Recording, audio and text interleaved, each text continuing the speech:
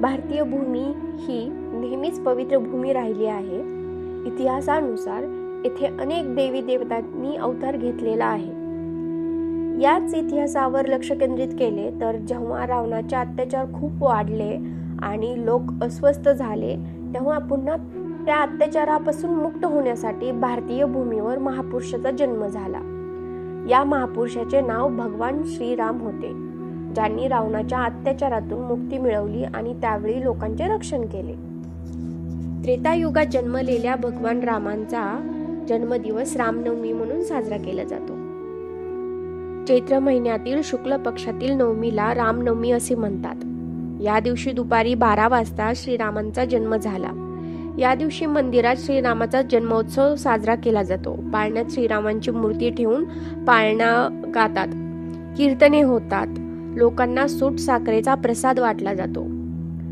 पृथ्वीवर पाप वाढले दुष्ट शक्ती लोकांना त्रास देऊ लागल्या की त्यांचा नाश करण्यासाठी श्री विष्णू अवतार घेत असत असे मानले जाते. श्रीराम हा दशावतारातील सातवा अवतार आहे. लंकेत रावण याने श्री शंकरांकडून वर मिळवला आणि तो गर्विष्ठ होऊन सर्वांना त्रास देऊ लागला. रावणाला मारण्यासाठी भगवान विष्णू श्रीरामाच्या रूपाने उतरले. अयोध्येचा राजा दशरथ याला कौसल्या सुमित्रा आणि कैकई अशा तीन राण्या होत्या. पण मूळमाल नसल्याने ते दुःखी होता. एकदा दशरथ राजा शिकारीला गेला असता रात्रीच्या वेळी तलावाच्या काठी बसला होता. तेव्हा श्रावण नावाचा ब्रह्मकुमार आपल्या वृद्ध आई वडिलांना तीर्थयात्रेला घेऊन निघाला होता. आई वडिलांना तहान लागल्यामुळे तो तो पाणी घ्यायला तलावापाशी आला. दशरथाला केवळ आवाज ऐकून अचूक बाण मारता येत होता. श्रावणाचा तलावातील पाण्या घेण्याचा आवाज ऐकून दशरथाने त्या दिशेने बाण मारला. तो श्रावणाला लागला आणि तो मरण पावला. त्याच्या आई वडिलांनी दुःखाने प्राण सोडले व मरता मरता राजा दशरथाला शाप दिला की तूही पुत्रशोकाने प्राण सोडशील.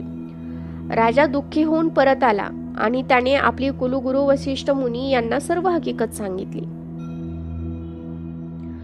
वशिष्ठ मुनींनी दशरथाच्या हातून नकळत घडलेल्या पापाचा दोष जाण्यासाठी त्याच्याकडून अश्वमेध यज्ञ करवला. त्यानंतर त्यांनी ऋषशृंग ऋषींना बोलावून त्यांच्याकडून पुत्र कामेष्टी नावाचा यज्ञ केला. तेव्हा अग्निदेवाने प्रसन्न होऊन राजाला प्रसाद दिला. तो त्याने कौशल्या सुमित्रा आणि कैकी या आपल्या तीन राण्यांना दिला. त्या प्रसादाने त्यांना चार मुलगे झाले. थोरली राणी कौशल्या हिला जो मुलगा झाला तो श्रीराम. सुमित्रेचा लक्ष्मण आणि कैकेयीचा भरत शत्रुघ्न. मोठे झाल्यावर श्रीराम वडिलांचे वचन पूर्ण करण्यासाठी पत्नी सीता व भाऊ लक्ष्मण यांच्यासह चौदा वर्षे वनवासाला गेले. ही कथा तर सर्वांना माहितीच आहे. त्यानंतर दशरथाचा पुत्रशोकामुळे मृत्यू झाला. वनवासात असताना श्रावणाने सीतेला पळवून नेले. तेव्हा श्रीरामांनी वानर सेनेसह लंकेवर चालून चालून युद्धात रावणाचा पराभव केला व अवतार कार्य पूर्ण केले. श्रीराम हे भारतीय वासियांचे फार आवडते दैवत आहे. श्रीराम हे एक आदर्श पुरुष होता. श्रीरामांना मर्यादा पुरुषोत्तम असेही म्हणतात. मातृपितृभक्ती बंधुप्रेम सत्यवचनाचे व्रत प्रजाप्रेम असे अनेक आदर्श गुण त्यांच्यामध्ये होते. ते एकवचनी होते. त्यांच्या राज्यातील प्रजा अत्यंत सुखी आणि समाधानी होती. म्हणूनच आदर्श राज्याला रामराज्य असे म्हणतात.